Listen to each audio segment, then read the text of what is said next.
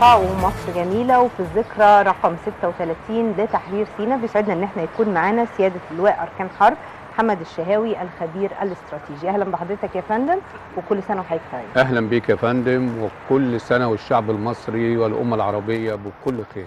كل سنة وحضرتك بخير يا فندم. وأنت طيب كل جنود وضباط ورجال القوات المسلحة بألف خير وسعادة يا رب ودايما موجودين ودايما بيحموا وطننا الغالي. نبدأ منين قصة الكفاح؟ والله أنا عاوز أقول في البداية وفي الذكرى السادسة والثلاثين لعيد تحرير سيناء تحية لكل مقاتل مصري تحية لروح الزعيم البطل محمد أنور السادات بطل الحرب والسلام. نعم. هذا الرجل الذي ظل يعد الأيام بعد ما وقع اتفاقية السلام في 79 قعد يعد حتى يتم تحرير الأرض طبقا للاتفاقية صحيح. في 25 إبريل 1982 يعني من 36 سنة. نعم. ولكن كان القدر والأحداث كانت لها مفاجأة أنه يسقط شهيدا في وسط قواته وهو يحتفل بالعيد الثامن لحرب أكتوبر المجيدة نعم. في وسط جنوده. ولكن مصر استمرت في المفاوضات واستطاعت أن تخوض حربين. الحرب الأولى اللي هي كانت حرب أكتوبر 73 والتي استمرت 16 يوم كانت حرب بالقنابل بالمدفعية بالطيران بالمقاتل اللي كان معجزة حرب أكتوبر 73 طبعاً. اللي هو المقاتل المصري طبعا. البطل. لكن كانت هناك حرب أخرى هي حرب أعصاب. حرب توتر من 79 حتى 82 وإسرائيل تعلم والسادة المشاهدون آه، السادة المشاهدين يعلموا أيضا أنها يعني يهود في التفاوض. مراب يريد أن يقتطع جزء من من لحم مصر الحي وهي سيناء. نعم. في قعدوا بقى قبل 25 إبريل بدأوا عملوا مستعمرة في سيناء تسمى ياميت مم. وكلمة ياميت ده كلمة عبرية معناها على شاطئ البحر وكانوا يريدوا أن تكون هذه المستعمرة أكبر مستوطنة وتكون ميناء على البحر المتوسط ويسكنها 250 ألف مم. ومش عاوزين يخرجوا. حتى لا يتم آه، آه، تحرير الأرض كلها نعم. حتى أن 3000 منهم قبل الانسحاب قبل 25 إبريل عملوا إيه مم. اجتمعوا وعملوا مظاهرة وقالوا إن إحنا سنقوم بانتحار جماعي كل نصف ساعة. إذ لم تتراجع الحكومة الإسرائيلية عن الانسحاب مم. ولكن بالمفاوضات تم قضاء على هذا. الانتحار الوهمي نعم. وانتصرنا نعم. واستطعنا إن إحنا نحرر سيناء كلها في 25 إبريل 1982 ما عدا منطقة صغيرة جدا طابة. واحد كيلو متر مربع وهي طابة. قعدنا فيها بقى يا أستاذة هند قد إيه سبع سنوات. مم. نتفاوض تحكيم دولي هنا- آه. وهم برضو متمسكين مم. يعني بهذه المنطقة الصغيرة تحت دعوة أن لهم فندق في طابة ولكن التحكيم الدولي عاد لمصر آه، آه، طابة في 19 مارس 1989 بعد سبع سنوات. ده بيقول لنا إيه؟ مم. الرسالة بقى اللي أنا عايز أوجهها للشعب بتاعنا أن الشعب المصري والجيش المصري لا يمكن أن يفرط في أي شبر صحيح. من أرضنا. دي الرسالة الأولى. مم. الرسالة الثانية بقول إن سيناء بتحظى بمكانة متميزة في قلب كل مصر مم. طبعا. المكانة دي إيه اللي عملها؟ صاغها صاغتها الجغرافيا وسجلها التاريخ. وسطرتها سواعد أبنائها ودماء ودماء شهدائها إحنا عارفين إن سيناء دائما كانت طريقا للجيوش وساحة نعم. للمعارك نعم. وكانت طريقا للغزاة ومقبرة لهم نعم. إحنا نعم. استطعنا إن إحنا نقضي على الغزاة وكانت سيناء هي مقبرة الغزاة وعلشان كده بنقول في هذه الذكرى ال 36 نحتفل بها إزاي بقى بالتنمية طبعا التنمية اللي الرئيس عبد الفتاح السيسي يعني هناك 275 مليار جنيه للتنمية في سيناء لأن التنمية هي أمن قومي إحنا عندنا العمليات العسكرية بتقضي على الإرهابيين لكن الذي يقضي على الإرهاب هي هو التنمية. التنمية التنمية طبعاً، صحيح. طبعاً. إحنا شايفين في طرق تشق في طبعاً. سيناء وعندنا أراضي بتستصلح وآبار مياه لتحقيق التنمية الزراعية مصانع. الآن وإحنا بنتكلم يا أستاذ طارق هناك خمس مصانع تعمل في مجال الرخام والجرانيت والثروة المعدنيه نعم. لأن سيناء تسمى أرض الفيروز. من بيعمل بها وسيعمل بها بعد تطويرها؟ نعم. هم. أبناء سيناء. صحيح. لازم نحقق فرص عمل لهم علشان إن ذلك هو الذي سيؤدي إلى عايز استقرار إن شاء الله. أنا عايز برضو قبل ما نسيب عملية الحرب على الإرهاب والعملية الشاملة سيناء 2018 اللي ما زالت مستمرة واللي يمكن قال عنها الرئيس آه، إن هتستمر لمدة ثلاث شهور وهيتم القضاء نهائيا على الإرهاب في سيناء.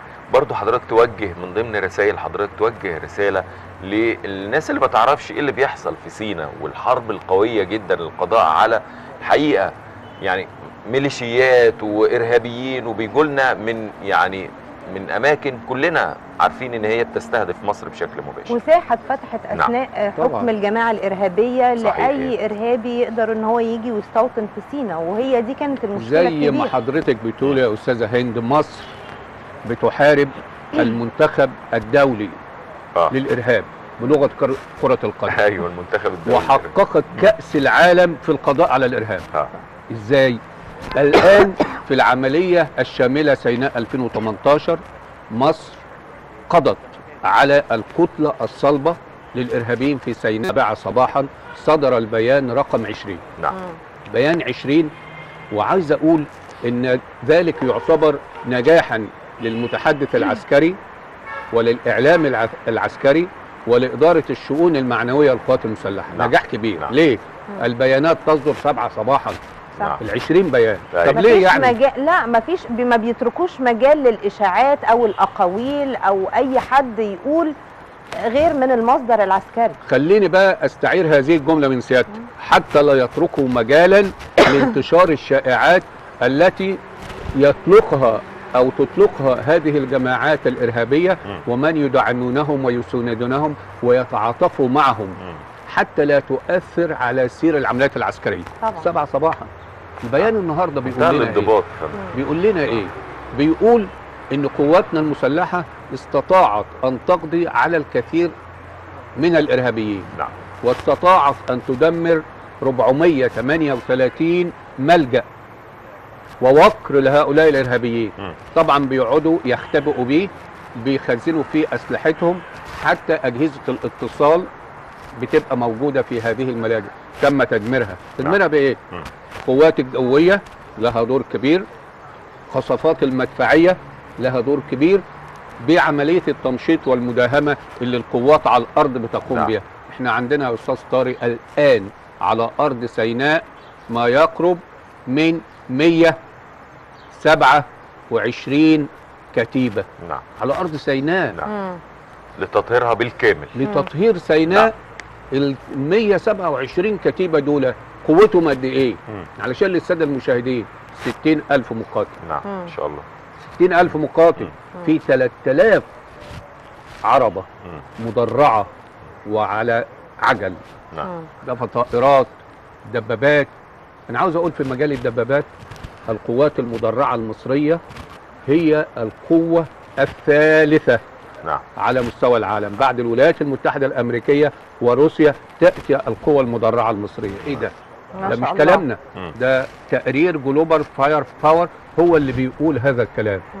العملية الشاملة بالإضافة لاستهداف اوقار هؤلاء الإرهابيين المهندسين العسكريين وقواتنا المسلحة بتمتلك أحدث أجهزة اكتشاف وتفجير العبوات الناسفة كان دائما لفترة طويلة تحدث خسائر نتيجة انفجار العبوات الناسفة لا. في أجهزة حديثة استطعنا إن إحنا وفي كفاءة جندي مصري كمان يعني إلى جانب الأجهزة الحديثة وال- إيه يا والتجهيز فندم الكبير بتقولي جدا كلام العالية على لسانك والتدريب. برضو الكلام اللي بتقول إحنا عندنا القوات المسلحة في المنظومة القتالية الفرد المقاتل هو على في الأول هو على القمة آه. فرد المقاتل المحترف وإحنا عندنا قواتنا المسلحة احترافية. نعم. بتقوم بعملية احترافية. نعم. تعتمد على الفرد في الأول.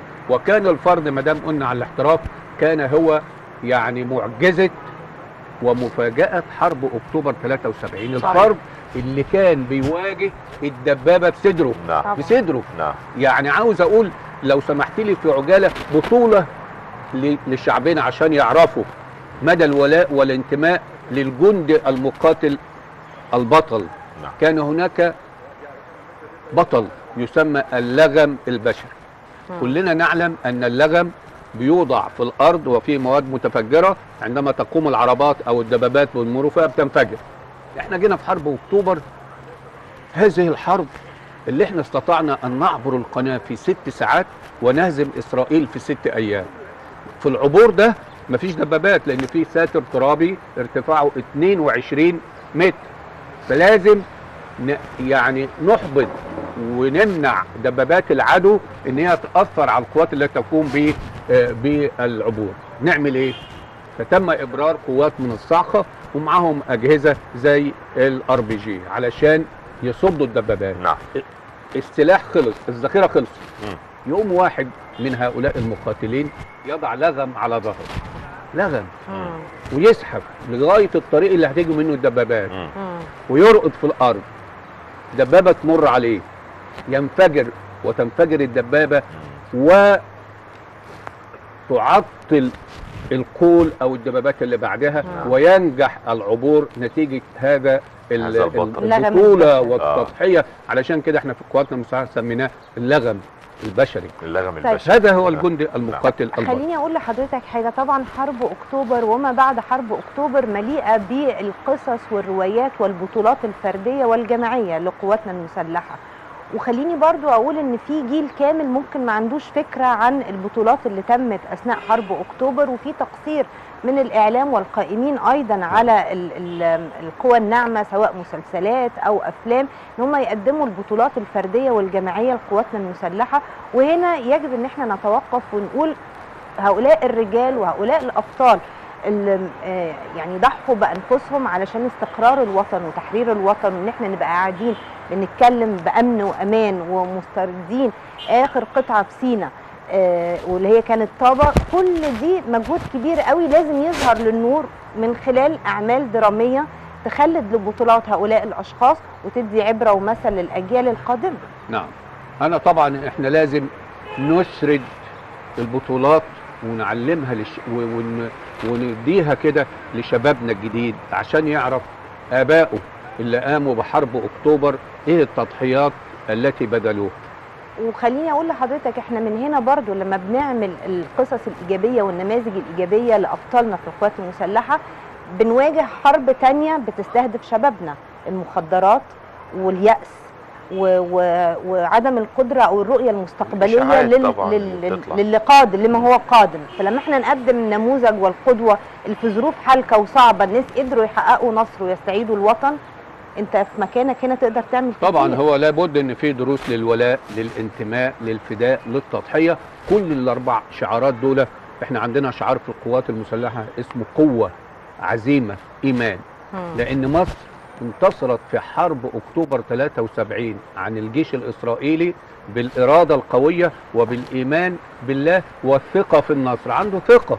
علشان كده. في هذه الذكرى آه، آه، آه، إن إحنا بالنسبة للإعلام اللي حضرتك بتفضلي بيه يجب على كل وسائل الإعلام إن هي تظهر في أعمال درامية وخصوصا إن إحنا خلاص كل سنة وأنتم طيبين رمضان جاي.